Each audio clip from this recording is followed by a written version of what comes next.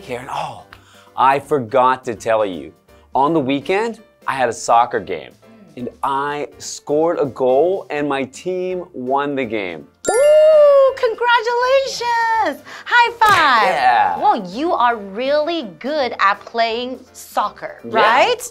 Hmm. Pretty good. Like, where did you just go? You just went out really quickly and then you came back really quickly. Where mm-hmm. did you go? I just went to the bathroom. that quick? Yeah, it doesn't take that long. Did you even wash your hands? Yeah, of course. Like scrubbing your hands with soap for 20 seconds while singing happy birthday twice? I put water on my hands. So that means you didn't use soap.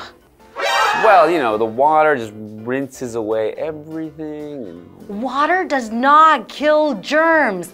And I just high fived you. Matt! You're supposed to wash your hands after you go to the bathroom. yeah, but I mean, 20 seconds, happy birthday twice. That who has time for that, Karen? People who take care of their bodies and people who don't want to get sick. Remember virus, bacteria, and yucky, yucky germs. Matt, you really have to remember.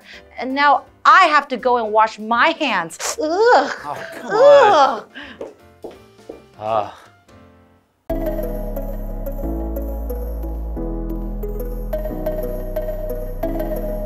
Amy and Colin are at a restaurant.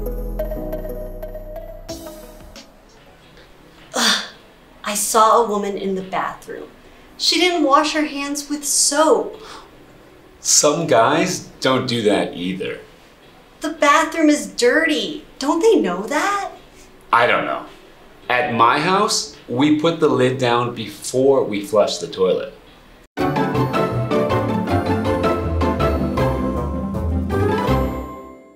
Hi everyone, welcome to ABC Interactive English and I am Karen. And I'm Matt. Today we are looking at part A of bathroom talk. And in our dialogue today, it's a dialogue between Amy and Colin. And Amy and Colin are at a restaurant. So what is a restaurant, Matt? Okay, a restaurant is a place that sells food that has been prepared, it's been made for you to eat, and you can eat it, it at this place. So a restaurant is somewhere you go to eat food, and you know, it can be any kind of restaurant. There's many different kinds. There's fast food restaurants. Mm-hmm. There's restaurants which we call sit down restaurants where mm-hmm. you will sit at a table and have someone bring you the food. So, for example, I always go to a nice restaurant on my birthday. Aw, to celebrate your birthday, right? Mm-hmm. Nice fancy meal. Okay, well, let's take a look at the dialogue between Amy and Colin. So I will be Amy and you will be Colin. We call it. Okay, so Amy starts off by saying, Ugh, I saw a woman in the bathroom. She didn't wash her hands with soap, just like you, Matt. Okay, fine. That is not okay. So, Okay, what well, does Colin I say? think Colin is not like me because he says, some guys don't do that either.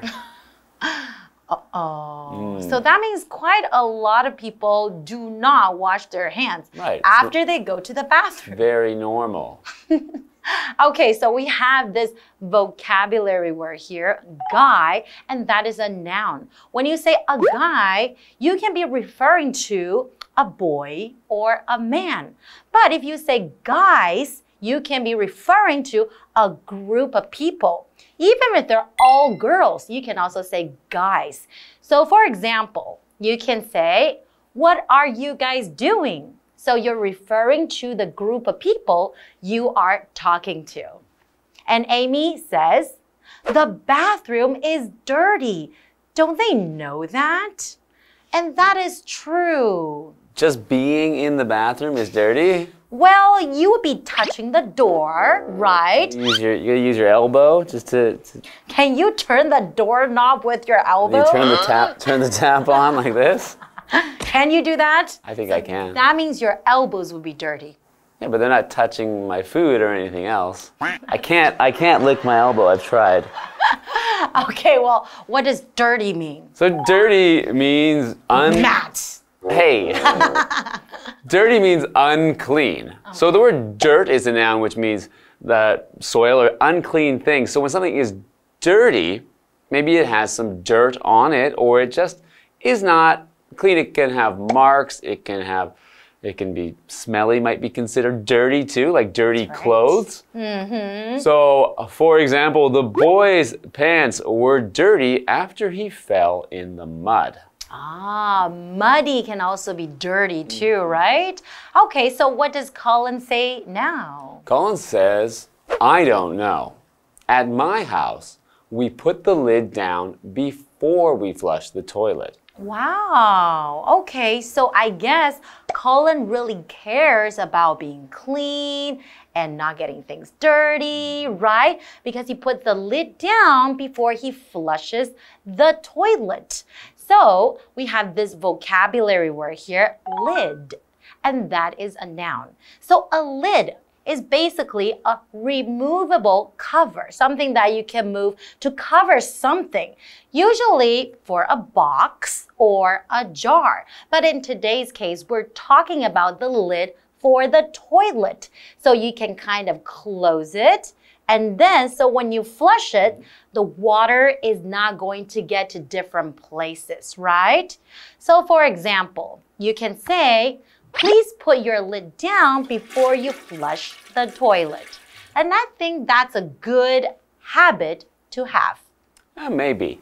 But, so to flush the toilet, to flush means to pour a large amount of water over something. So it can be actually can be water or another liquid. Does not need to be water. So when we say flush the toilet, we mean when you press the press the little button to cause the water to run over the toilet and new water will come in and you have flushed the toilet. We can also use it for other things like for example, if you have a burn, you should flush it with water. Oh, you are right. So you might not have to go to the hospital, right? Hmm, like help you to feel better. That's right. So how about you? In your home, do you, you know, close the lid before flushing the toilet or put the lid on? Ah, I don't know. I mean, I don't flush the toilet that often.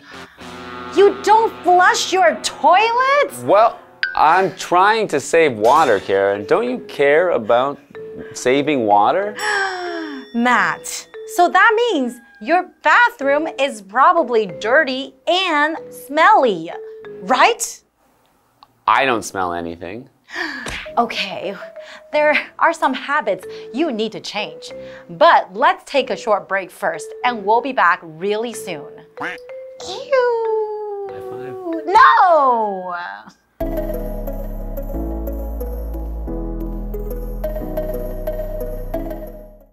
We do that at my house too. We also put the cap back on after we use the toothpaste. We also do that. And we don't use other people's toothbrushes. Now that is really dirty to me. I don't like that.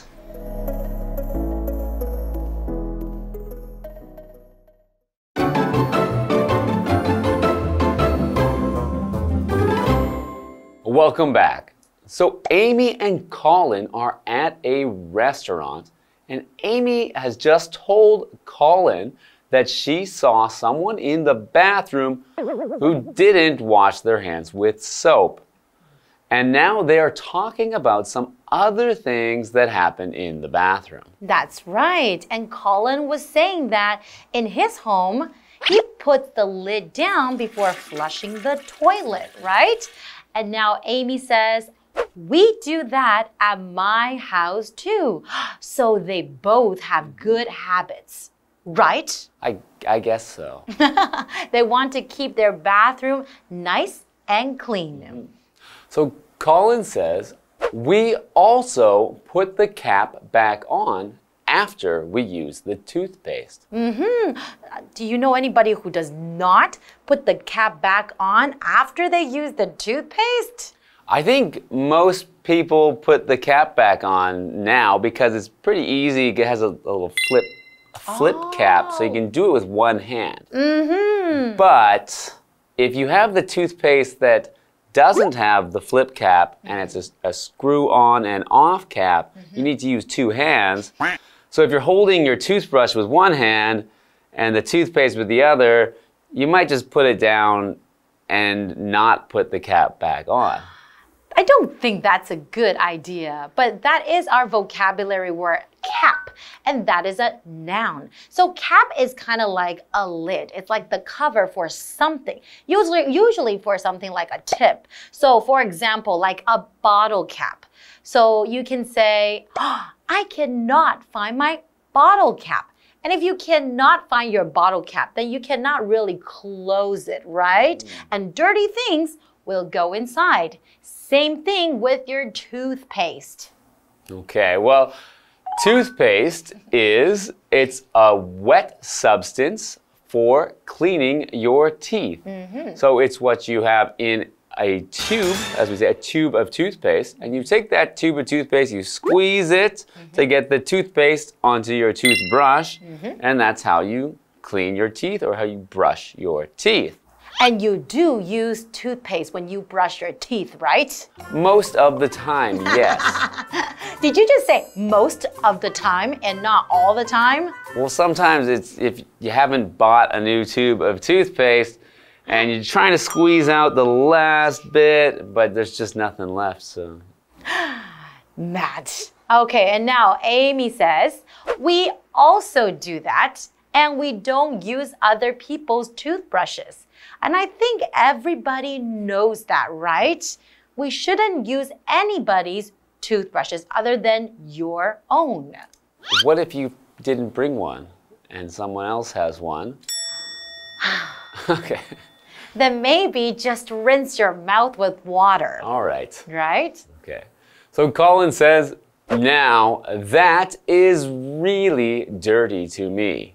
I don't like that. I don't think anybody likes sharing their toothbrushes, right? However, well, you can have different uses for your toothbrushes. Like the old ones that you don't need anymore, they're actually really good for cleaning your white sneakers, your white shoes. You put a little bit of toothpaste on your toothbrush, and then you can brush off the dirt and all the mud off your white sneakers. Then you use the toothbrush in your mouth after? Do you think I would do that, Matt? oh, Not a good idea. Okay, well, this is all the time we have for today. And we hope you enjoyed our lesson, and we'll see you guys next time. Bye bye. Goodbye.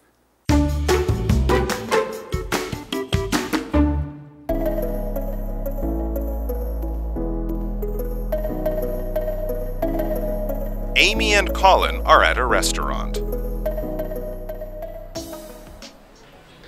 Ugh, I saw a woman in the bathroom.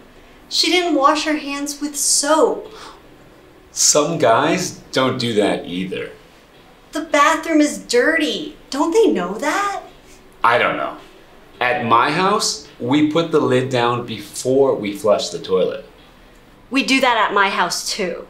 We also put the cap back on after we use the toothpaste. We also do that. And we don't use other people's toothbrushes. Now that is really dirty to me. I don't like that.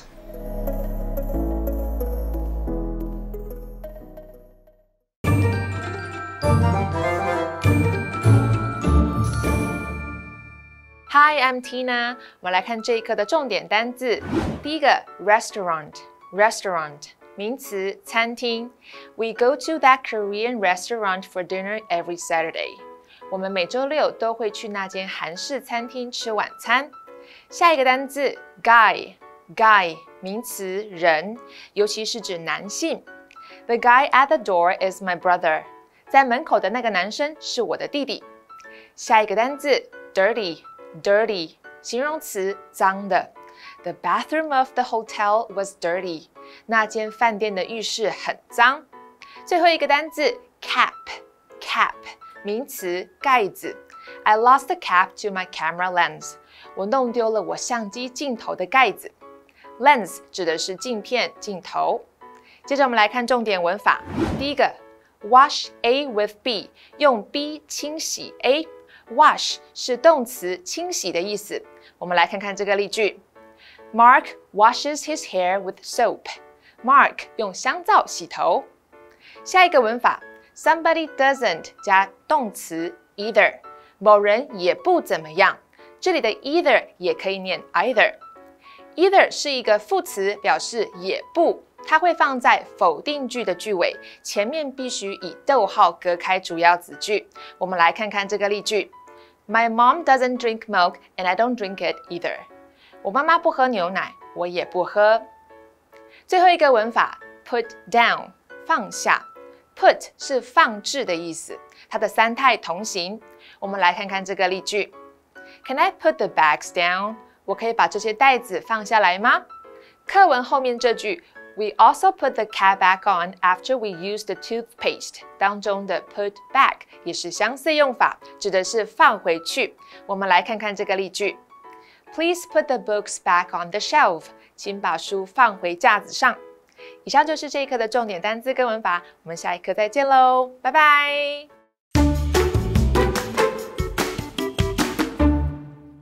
I'm excited. Today we are taking a trip to this host's favorite place in Taiwan, Hualien. Now, we all know that over the years, Hualien has gone through many changes.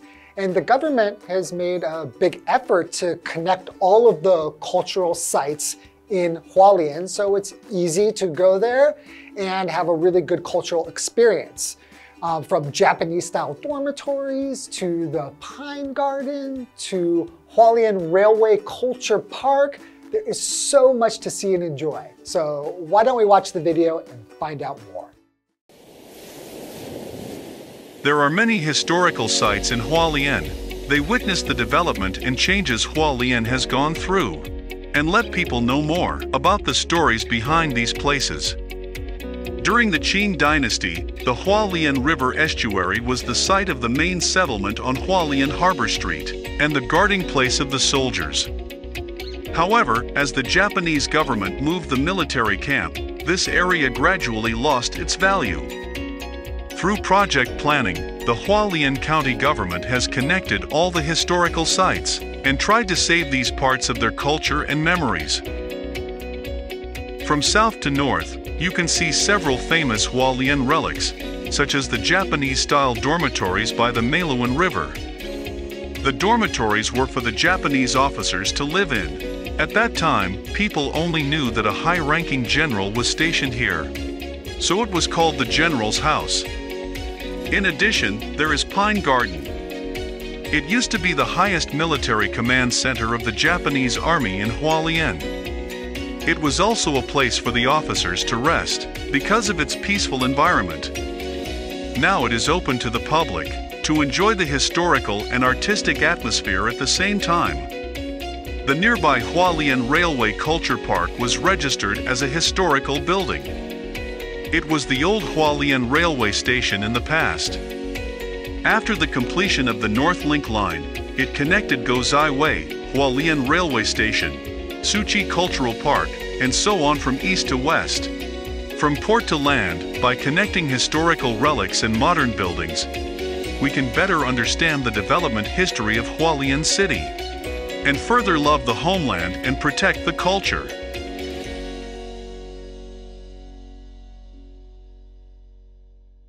There is so much to see in Hualien. My favorite is probably Pine Garden. I haven't been there, but I plan to go because it looks really beautiful and relaxing.